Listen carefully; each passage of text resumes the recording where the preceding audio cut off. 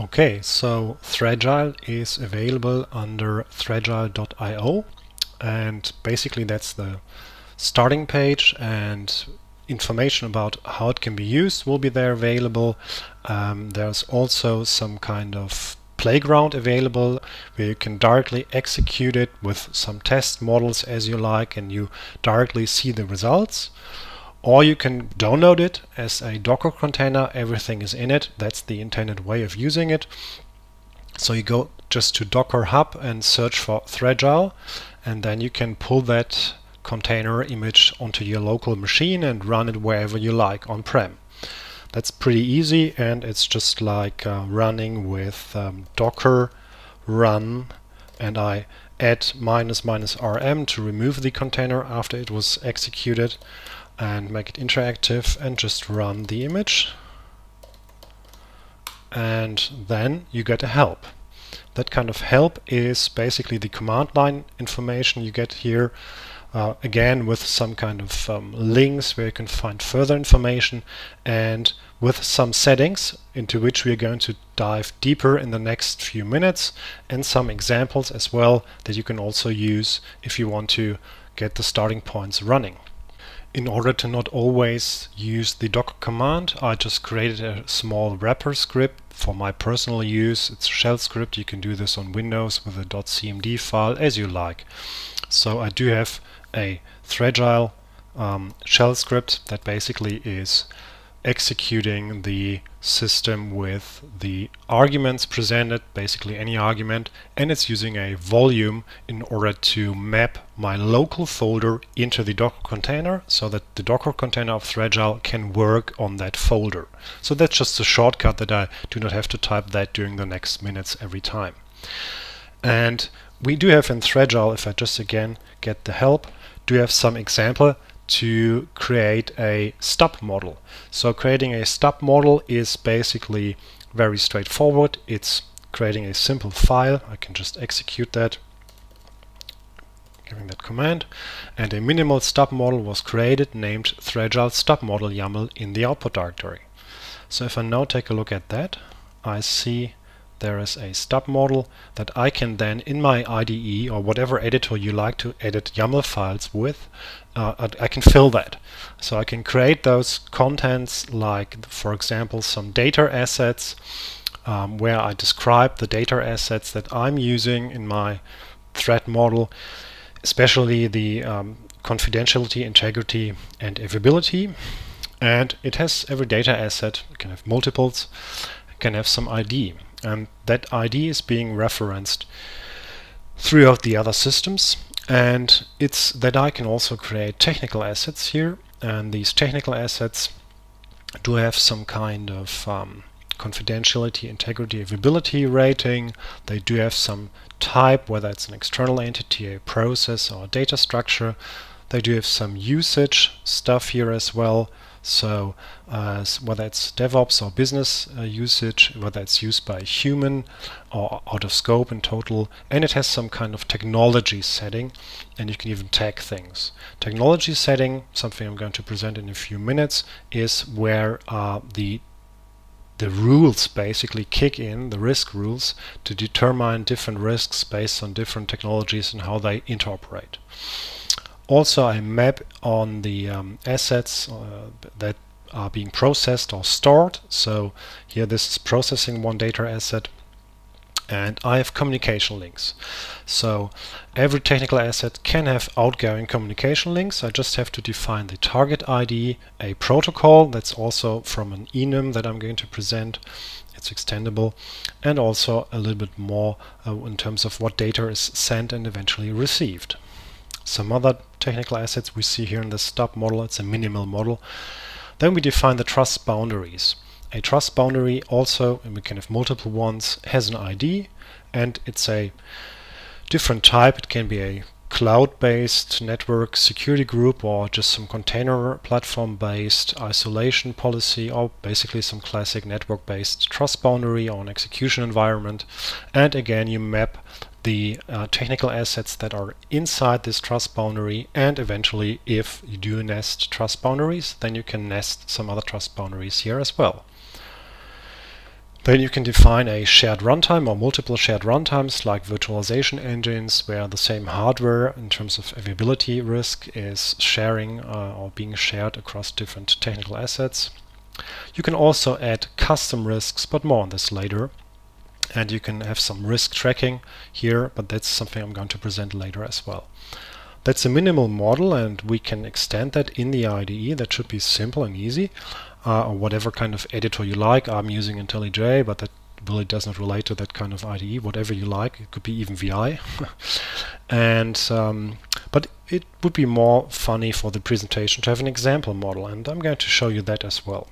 So inside the Threagile help, we saw that aside from a stub model, we can also create a not a minimal stub model, but a filled example model. That's something I'm going to use now. Threagile and create the example model. And an example model was created. And that's a little bit more filled. So if you take a look at that in the IDE, we see some data assets in it and we see some, some more data assets here and we see some more um, technical asset. We even have a navigation in the IDE here. That's pretty pretty nice. So we can just go to the Apache web server and we see the rating and the data that's being processed and stuff like that.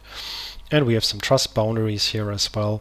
So we can see. It's a little bit more of a filled model and we can just use this kind of model uh, to create some nice results by executing Threagile on that.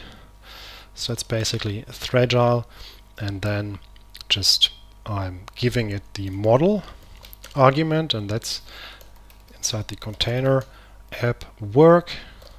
Threagile example model dot YAML and output is app work and I make it verbose. And that way it works on my local file on the local file system in the folder here and it generates a few things. So how does the Docker container do that? It's simply by the mapping of the volume so that inside the Docker container of Threagile app work is the folder which is actually the current folder here. So that way we can interact that way. Nice. And in the next few minutes I'm going to go deeper into what kind of risk output was generated. So what was generated from uh, the execution is basically some kind of diagrams. More on that later. So we see, for example, a data flow diagram that has been automatically laid out and the colors are basically due to the different data flows and different risk ratings in terms of uh, sensitivity of the data and also in terms of the um, places where custom code is developed or not, whether it's on the internet or not, or out of scope or not. So that's a little bit of a scheme behind that layout and it has been automatically generated. Also, we do have a PDF report that has been generated.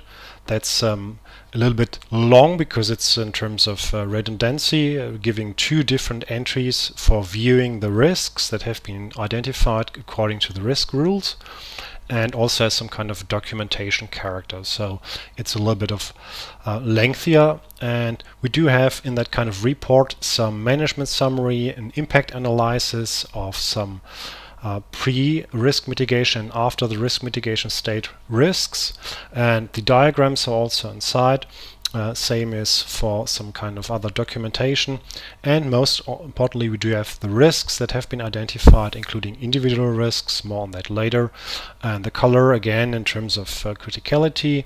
And we do have those risks as entry points and we do have the technical assets also as entry points that basically is the other view of the same data and we have a data loss probability that has also been generated by each data asset and a little bit more of documentation. So basically some management summary as expected you can even customize that with some custom text and uh, some distribution diagrams and an impact analysis of the risks 83 risks initially identified in 27 categories of that example file including some individual risk, a critical one, so even custom risks can be added to that kind of scheme. And you can click on any of those to get to more details, uh, but more on that later. And we do have a risk mitigation uh, where we see a distribution of uh, the initial identified risks and the remaining ones. So basically some have been mitigated, some have been in progress, or many here are unchecked, which is not good. And the impact analysis of the remaining ones. So after that kind of presented mitigation. That is also maintainable inside the YAML file. Also, we do have some kind of uh, embedding of the diagrams and a little bit of more documentation stuff, not going into details here. We've got a stride distribution so that you see those risks. Even here it's clickable to go to the details.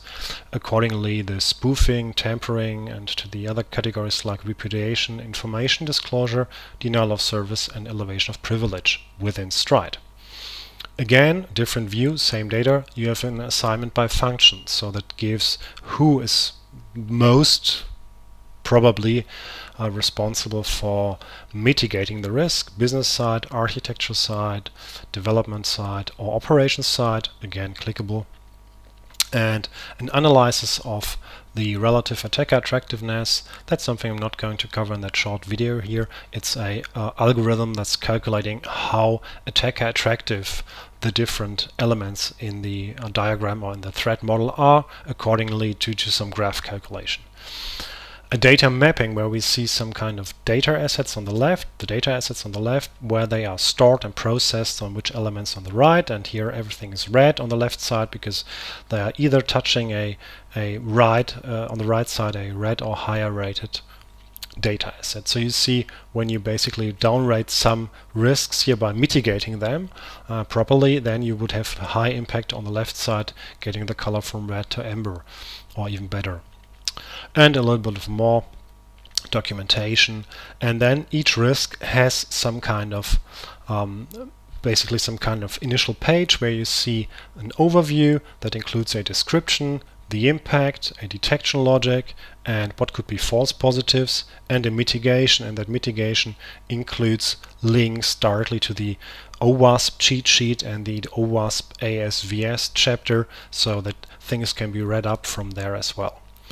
And every risk here is um, rated according to individual rules and also has some uh, description here. This was identified one time. Again, an XML risk was identified one time here. And we do have some cross-site scripting risks that potential cross-site scripting risks that have been identified four times. So we have them each here. You can click on any of that to go to the technical asset view or the shortcut here just to go back, clicking on that, to the table of contents for easier navigation. So let's go into the risks by technical asset. For example, we can go to the back office ERP system. It has 14 remaining out of 18 risks. Click on that. And here we see the risks being here rated high risk, elevated, medium, and for example, the XML risk is here and uh, matching at this back office ERP system or some um, untrusted deserialization vulnerability or some medium risks here like cross-site scripting or cross-site request forgery or unencrypted communications and stuff like that. And a little bit of documentation that's just basically for the documentation folks.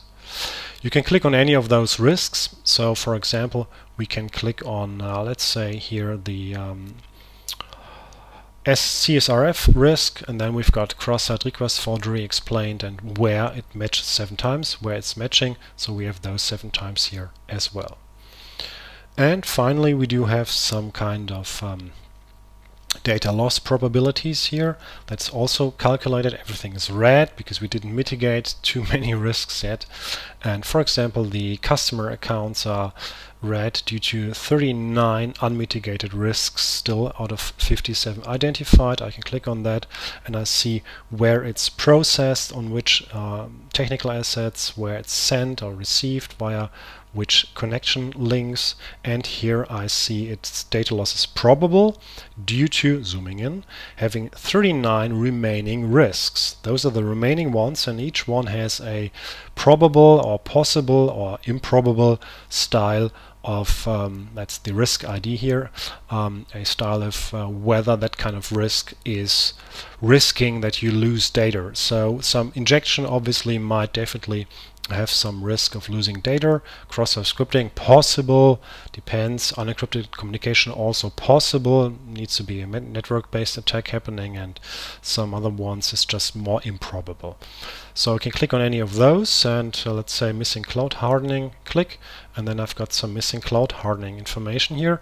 So it's very easy to navigate throughout these kinds of structures. Also, we do have some more assets. So we do have a, which we also generated, easier to handle um, Excel file that I'm going to import. It's just the same data, different view, and it's giving me a sortable and easier filterable kind of um, documentation of what risk has been identified on what kind of asset or what kind of communication link and what's the risk ID. Nice.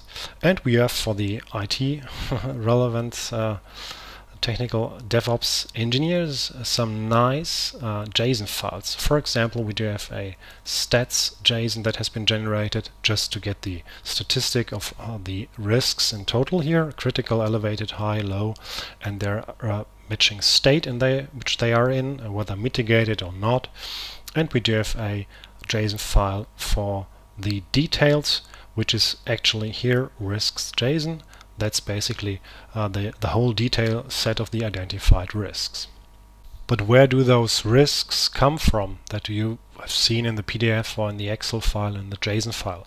So basically there are risk rules inside Threagile, a built-in list of ever-growing 30, 40-ish something risk rules that are working on the parsed graph of the YAML file and have some inherent rules accordingly due to the um, types of technology that have been chosen or the types of protocol and the different other settings you provided declaratively in the threat model YAML file. So for example we have a path traversal rule here so it's Threagile written in Golang, the Go language, very simple, very easy to write.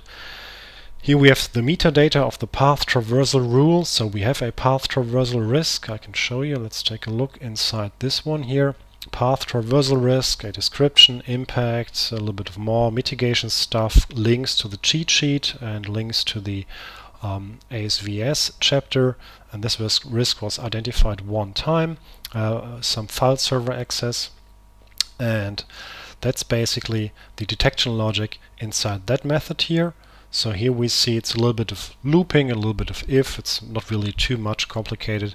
It's uh, easy to understand and it's just following the the graph of the objects and uh, for file server and local file systems um, it's then checking if incoming flows are basically matching the risk rule and if it does then it's a risk that has been generated here with some likelihood and some impact and some text for the risk details and a, an ID that has been generated here. So that's pretty simple, a more simple rule. We have another one a little bit more complex, for example unguarded direct data store access. That's the one here, a little bit more complex, uh, more on the protocol side and checking things and trust boundary crossings and stuff like that. So it's a little bit of graph navigation stuff, but basically it's pretty simple.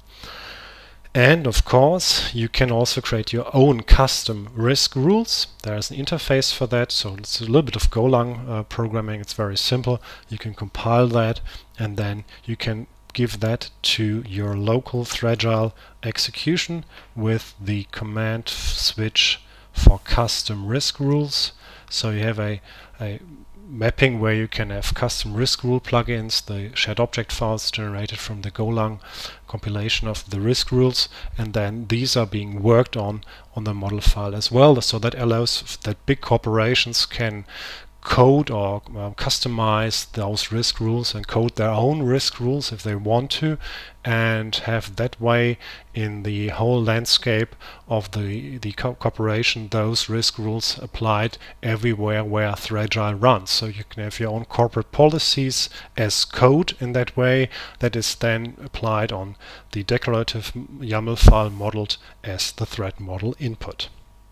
So how about editing those threat model YAML files in your IDE? They, that's pretty awesome and pretty straightforward because every IDE supports YAML files even uh, in VI you can easily edit a YAML file or it can be generated by some other kind of service, whatever you like.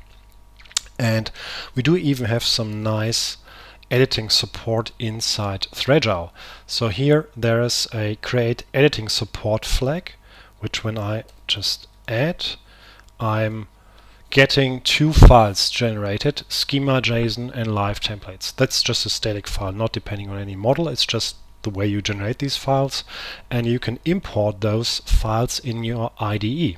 So for example, the schema.json we can use and that's the YAML schema that's basically giving us auto-completion and all those things for the IDE. I've imported it already here and then I can in any model I can click here on the uh, Threagile schema and then I do have a schema validation and auto-completion. So for example let's take a, uh, this Jenkins build server here as an example and make a uh, technology build pipeline and I have a typo here, uh, double P. Then basically it's flagged here as invalid, so that's not a valid one and here even I do have in my IDE a validation error and I can even have auto completion so I can just hit the control space and then I can do whatever and select whatever kind of technology or type it a little bit and then I do have it and now it's valid again. That's pretty nice. Also, we do have some kind of live editing support. So when you take the other file, it's just a text file that has been generated, and you can import that as well. It's live templates txt in your IDE, just a one one-time effort, including for the mo uh, most um, prominent IDEs, some links of how you can do that. And then you can edit those templates for the base model and also for data assets, technical assets and all these communication link stuff so that you can even do some Zen style coding. So Threagile base model, enter, bam, I've got the base model. Some title, tab, some name, tab, and you can jump through all these and here I can have a business criticality entered or whatever are data assets. I'm skipping a few things. Data assets, and then I can here have the data asset uh, live editing support. Click some data ABC tab, data ABC tab usage. Then I can use control space to have the editing support here. Let's say that's business and even have the confidentiality is confidential and all these things or technical asset, tech asset, enter and then I can give it a name. Some tech asset ABC tech asset ABC tab and type is it's a process. Usage is business. Used by human is false. So you see it auto completes and tabs through that. And I can even have here technology. Let's say it's a web server or web service REST web service. It's not sitting on the internet so it's not the client. It's exposed on the internet but not sitting on the internet machine is a container and encryption is with symmetric key and uh, unfortunately not with end user identity. And I can have some ratings here confidential and important and operational. And it's uh, multi-tenant and not redundant. And it contains custom developed parts. So that way I can easily get a you know, simple way to create those things including communication links. So I can have a com link here com link and to ABC and then I have the target ID, the protocol and all these things. So it's pretty straightforward to create those elements with the live editing support including individual risk categories and their instances and also including those risk tracking things. So that's pretty simple and we do have full model validation that way. Well, we even have some kind of model macros which are codified, again in Golang, codified ways of to have an interactive wizard style question back and forth with the user in order to seed a model or to modify an existing model in a certain way, adding things. So when you do have certain elements in your corporation that are often modeled in a more or less same style, then you can have that codified in a threat model macro, a model macro that's working on the model like a macro, modifying it with an interactive wizard style approach. So I can, for example, execute that add build pipeline model here to execute uh, with the execute model macro add build pipeline flag to add the build pipeline to this um, model we are working on. And we do have a few questions, uh, whether it's basically it's about naming things and a little bit about uh, how the build pipeline is being deployed. And it's a state machine that's coded inside the model macro, so each model macro can have a dynamic set of questions. And here the default I'm accepting Git and Jenkins, basically the names of those build pipeline elements, the artifact registry, whether we're using a code inspection platform, yes.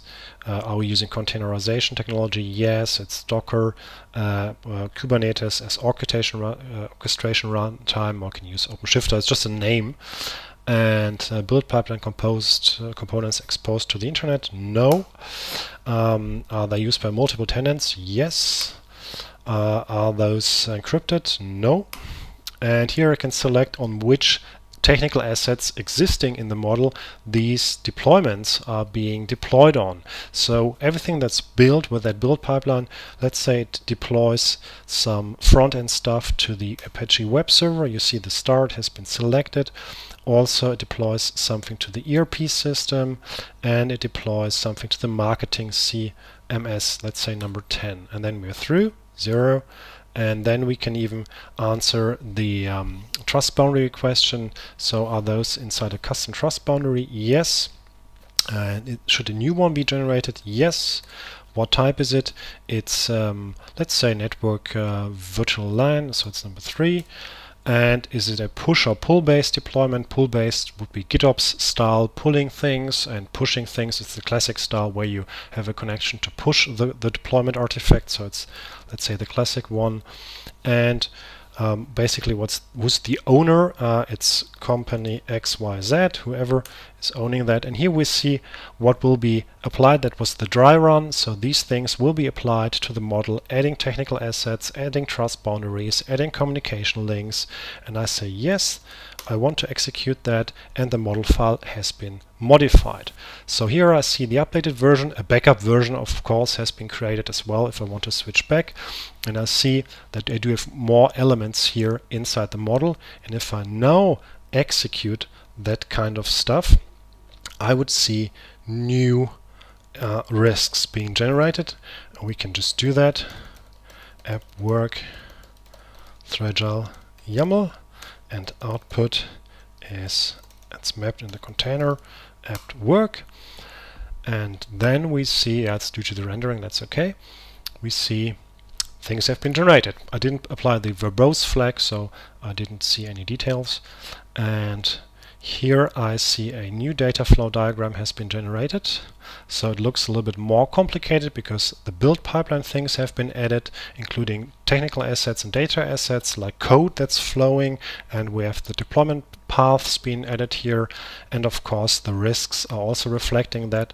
So for example, we do have uh, a few more risks, including those of the build pipeline components and also eventually depending on the architecture we have something like uh, push versus pull deployments or something like that. So that's that's a way to edit a model file interactively. Uh, so for example accidental secret leak here that's a good one. So a build pipeline can leak secrets in git or docker or nexus registries if we do not have the proper countermeasures in place like git secrets um, or talisman or other kind of things that we can use to avoid checking secrets in. So it's a new risk that's coming from the fact that we just added a build pipeline, which we did just using a model macro. And you can create your own model macros, of, of course, as well inside Threagile. So uh, that's something that you can code if you want, definitely as well. Custom risks can be added inside the model YAML file as well. So we do have an individual risk category where you can name custom risk categories and give the meter information for the report. So basically what's that, that risk having for an impact and how it should be mitigated and links to the cheat sheets and if you have something like that. And you can also have instances that you're doing a manual analysis. So of course when you identify um, risks in the threat model workshop, they should be added here as well. Risks that cannot be identified by a tool, uh, but it's processed in the same style. So you can give that risk a name and you can even map onto which kind of technical assets this risk is applying. So that means that their data loss probability calculation things are working as expected. And this kind of custom risk was added two times. So we do have two times on different technical assets this custom risks added and it's flowing through Threagile in exactly the same style as other risks. But how can we track those risks, the status that they are basically in, like in discussion, accepted, in progress, mitigated, stuff like that, or false positive eventually. And that's also tracked inside the YAML file, inside the risk tracking section. So every risk, either inside the generated Excel or inside the generated PDF or inside the generated JSON has a unique risk ID. So here I see unique risk IDs that are also inside the Excel and I can just use these, copy that and then paste it here as an entry in the risk tracking and then I can give it a status of whether it's accepted, mitigated, unchecked, in discussion, whatever kind of status you want to assign here from those. And a justification text, eventually you can reference, if you like, optionally a ticket, um, like a bug tracker ticket or whatever where this is being handled, a date when this was checked and checked by whom, the name, and this is being then generated again inside the um, with the status uh, here matching accordingly inside the Excel. And also the report is updated that way if you regenerate. So you see the bar chart here and the pie charts here uh, reflecting that. And you see the impact analysis of the remaining risks. So that's basically those that are not yet mitigated compared to the initial ones. This should be better obviously and you can even have wildcards, so you can add wildcards if you have a certain set like unencrypted asset, a uh, certain set of risks that you do not want on block being um, um, visible or being shown inside the model as um, uh, open because you mitigated them or you accepted them or whatever, then you can have a wildcard that's being used between those add characters. So you can use uh, the wildcard thing to have a batching of a group of risks that you want to mitigate or want to assign a certain status to if you want to do that. And you even have a model macro that is able to, if you execute that, seed you with all those risk tracking entries of all the risks that have been identified. And Threagile also has a server mode if you want to execute it not directly on the command line, but as a REST server with an API. You can have the server attribute with a port number added, Threagile server running, and then on that port that you defined, you've got a web page that describes the um, model stub and the example files. You can download the editing support and you can just upload a YAML file and get a zip file to download then that gives you the results. So then the work is executed on the server side and this is even reflected in the API. So in the API you can have that direct analysis as well and you can even, that's for the 1.1 version, the extension in the API that you can use that, it's being in development currently, that the server side also has a way to store encrypted those model files uh, you can then edit those model files using the API, listing data assets, adding data assets, adding technical assets, changing things, and you can then directly get the results from the API as well, and you can import YAML files or export that thing as a YAML file as well. That's basically exactly the same than the server that's running on run.threagile.io, where you can experiment with that as well. So for the DevSecOps people, that's also something we can use the JSON files that are generated automatically in a Threagile run. And you can even tune it that only the JSON files are generated, being a little bit faster. And that way you can enrich your DevOps pipelines so that the Threagile YAML is also checked out of the source code repository sitting there along with the project and then it's being worked on via Threagile and then you get the results as a JSON file or JSON files that you can process and that way you can even get some more information and can automatically decide what to do next in the build pipeline. So it's fully working inside of uh, DevOps as DevSecOps workflows. So putting threat modeling into DevOps as well and I really encourage you to use the Docker container and execute it, run it, play with it. You get the command line, you get the examples, you get the docs. That's pretty nice.